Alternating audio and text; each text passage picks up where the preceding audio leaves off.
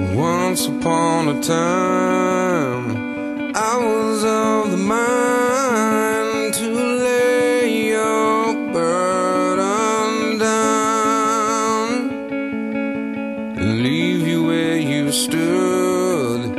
You believed I could.